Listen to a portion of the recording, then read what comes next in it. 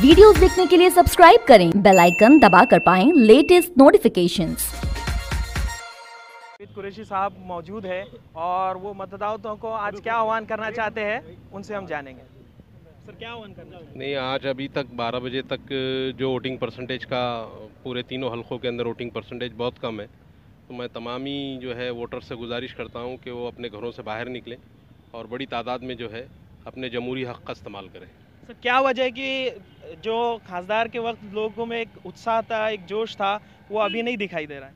अभी लोग कम दिखाई दे हाँ ये ये चीज़ तो मैं भी घूम रहा हूँ जो सुबह से तो ये महसूस कर रहा हूँ कि वो जो इलेक्शन की वो जो रूहानियत थी वो रूहानियत कहीं आज जो है असम्बली के इलेक्शन में नज़र नहीं आ रही। उसकी क्या वजह है अब ये सारी पार्टीज़ के लोगों ने ही जो है इसके ऊपर गौर करना चाहिए कि ये ये मजलिस मुस्लिमीन की जो रूहानियत थी वो कहाँ चली गई? क्या वजह है? आप क्या बोलना चाहेंगे? नहीं मैं इसमें मैं क्या बोलूँगा? मुझे वो टिकट नहीं दिया, इसलिए ऐसा हुआ। मेरा बोलना तो ये रहेगा। लेकिन कहीं ना कहीं ऐसा लग रहा है मुझे कि मजलिस मुस्लिमीन ने अवामी तइद जो उनको हासिल थी 2014 में और उसके बाद पूरे इलेक्शंस के अंदर, वो कहीं तो भी खोती हुई नज़र आ रही या उसके अंदर जो है वो जो इंटरेस्ट था, वो जज्बा था, वो कहीं ना कहीं मुझे कम नज़र आ रहा। शायद हो सकता है कि मजलिस मुस्लिमीन ने अपने वर्कर्स पे, अपने कार्यकर्ताओं के साथ नाइंसाफ़ी की उसका नतीजा हो सकता है।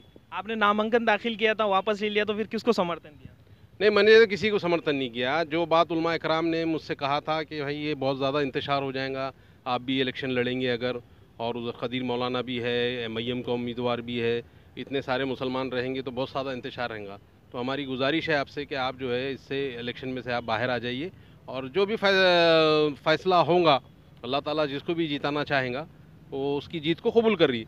लिहाजा मैंने उलमा कराम पे और सारी मिली तंजीमों के ज़िम्मेदारान से शहर के बहुत अहम लोग मौजूद थे वहाँ पर उनके बोलने पे जो है अपना जो है नॉमिनेशन फॉर्म वापस ले लिया और जो है अपनी जगह खामोश बैठा हूँ अब क्या कहेंगे ज़्यादा से ज़्यादा लोग जो है तो बाहर निकल कर मतदान पर ध्यान दें।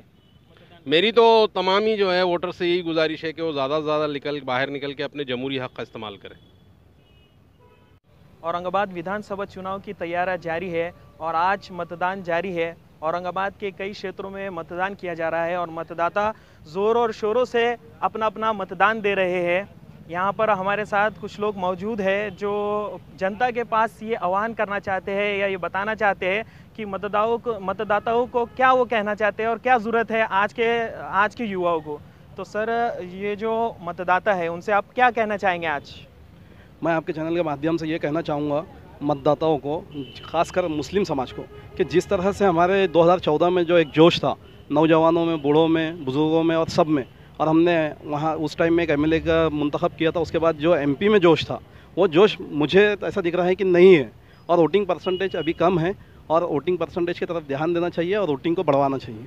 और मैं सबसे अपील करता हूँ कि अपने घरों से निकल के ज़्यादा से ज़्यादा वोट कर, वोट कीजिए।